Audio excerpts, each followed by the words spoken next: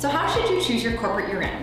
There's three key items that I suggest most people think about before choosing a year-end.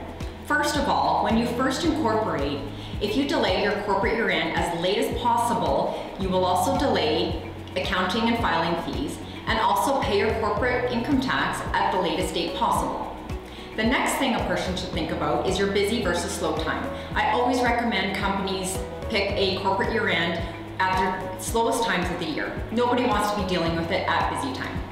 The third item to think about is if you have your corporate year end extend over the calendar year, you have a possibility of deferring income.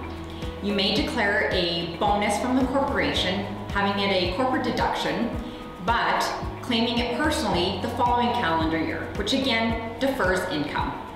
Think of these three key items before choosing your corporate year end.